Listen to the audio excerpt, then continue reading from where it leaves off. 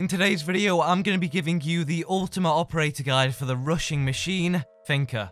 We're going to start off with her ability, move on to the role and the playstyle that you should be using, and end off with the loadout, so make sure you stick around to the end to know what weapons to be running with her. If this guide does help you out, be sure to drop a like on the video and subscribe for future operator guides. Let's start off with Finka's ability. Finka's ability is an Adrenal Surge. What it allows her to do is heal three times. Now, when I say heal, what I mean by this is that Finka is going to be able to use her ability three times, and what it does is it increases you and your teammates' HP temporarily for 20 HP. If you're on 100 HP, you'll get boosted up to 120. After the timer expires, the ability deactivates, it's going to go down to 100. Again, if you end up being on 60 HP, goes to 80 HP. Now, if you end up getting shot when the ability is active, it's going to help you out a ton here because that extra health is going to come in very handy. It's not going to take it all away. If you're on 60 HP, you get shot down to 50 HP, you're going to be on 40 HP after the ability's expired. Essentially, if someone takes off 20 HP worth of damage onto you, you're not going to then lose another 20 HP when the ability deactivates. It's going to save you right there. There are an absolute ton of different buffs that you can get, and there are also a few negatives that will happen when you activate her ability, and it will be applied to across the whole team.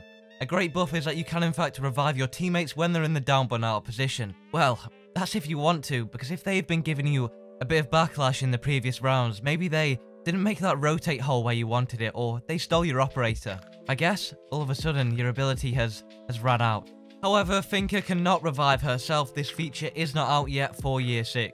So if you get downed as Finka, you're going to need one of your teammates to pick you up. The other different buffs that you're going to gain is one, for example, recoil control. When you activate her ability for that period of time that it is active, you are going to have a massive reduction on your recoil. It actually cuts in half. On top of that, you're also going to gain that health boost. Your ADS time will also be increased, which means it's going to be a lot quicker when you're trying to aim down your sight and aim in on that weapon. You also have a shorter concussion time from an Echo Yokai, or simply a Zofia concussion, or on the defense side, you would obviously be facing an Ela concussion. So your concussion time gets reduced if you are currently getting hit by it, or if you have already been hit by it, you activate that ability and it's going to completely cut out and counter the concussion. If you're facing an Echo and a Yokai and the Echo Yokai ends up concussing you, Finka activates her ability, bam, there you go, that concussion is gone immediately. On top of that, you can move through barbed wire a lot quicker when using Finka. And another one is that your reload time is a lot quicker when you are going to be having that Finka ability active compared to if it wasn't on. Now, there are also a few negatives that you need to know about when facing certain operators with Finka or a Finka on your team. If that Finka ability is active, you are going to take more damage when you are facing a smoke canister or in it.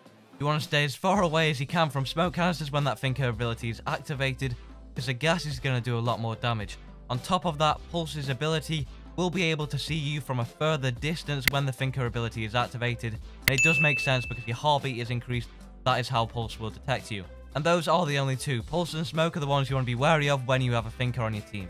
The majority of the benefits are great to have alongside you, however there are going to be a few more that you're going to need to have a little bit more consideration over.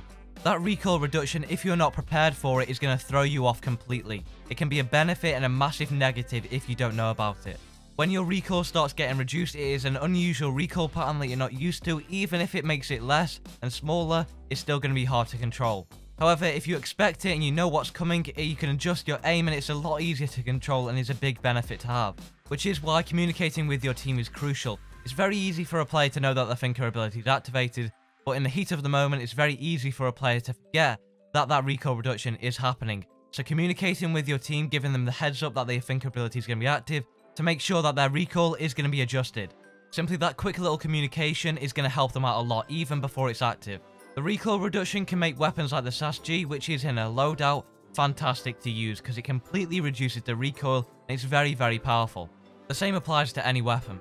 The increased ADS time is going to be huge for players who play the shield operator like Blitz or a Montagne because you are going to be ADS a lot quicker when using a shield. That's a big benefit and should give you an insight on what combinations you can run on your team. Again, this is also applied to any weapon, so it helps out your team a ton in that situation. Remember, you must be very careful with the recoil, as it can make your aim look a bit like this.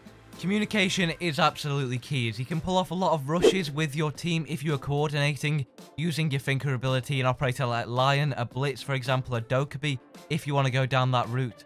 Expect some backlash from the enemy team. Now a massive thank you to Cathalor who has supported me on my Patreon page with the All Access Pass, giving him a ton of benefits ranging from a one hour consultation with me and a ton more. Thank you for your support and there's a link down below to my Patreon page. Another example of where communication is key is that a teammate can shout out that they're downed, you might not see them across the map, you can revive them.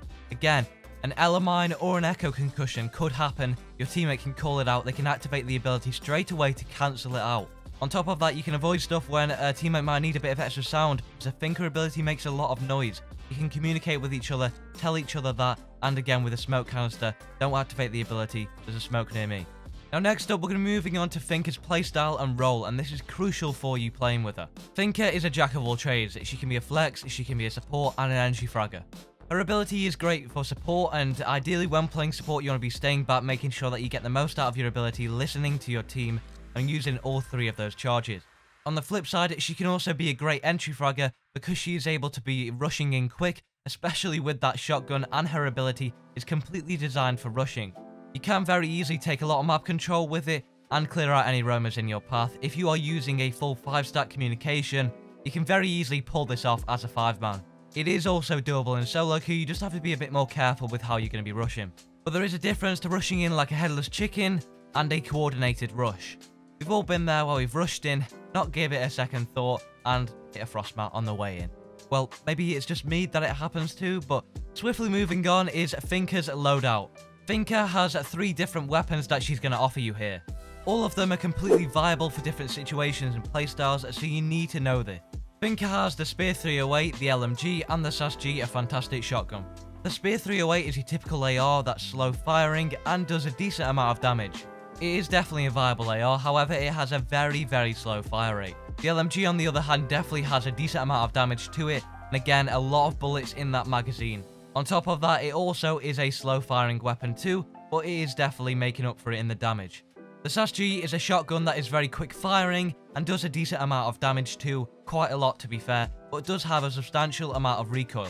These weapons on their own aren't the best, but they suit Finka's ability very well because that reduced recoil that increased reload time is going to help out an absolute ton. Take your pick of the LMG or the AR, it completely depends on what you prefer, or you can go with that shotgun, which is great for rushing, and that's the best situation I'd recommend using it in. For her secondaries, she has the brand new gadget coming with Crimson Heist, the GONNE-6. And then she has a standard PMM, which is the regular pistol. The PMM is your option of an actual secondary weapon, or if you want to go with something to clear more utility, go with the GONNE-6. It can take out deployable shields, a ton of utility, but it doesn't do any damage at all, only 20. Then she does have the hard breach charge or the stun grenades for your option here for the gadget. The hard breach charge is a great addition for Finka and I found myself using that a lot. However, when other players on the team were bringing it, if we have a hard breacher and someone else with that gadget, it doesn't really come in handy too much. Which is why the stun grenades can definitely be a viable option for burning ADSs, wasting utility, and pushing people out of their position to gain a little bit more map control. I'd judge it on your team setup and what they're bringing. If they have the hard breach covered more than enough, go with the stun grenades. However, bring that hard breach if it's not. Now, if you are interested in the brand new Operator Flores that has just released, I've covered a guide on him, and there will be a card in the top right. As you've learned everything you need to know about Finka, if it did help, be sure to drop a like on the video and subscribe for more Operator guides.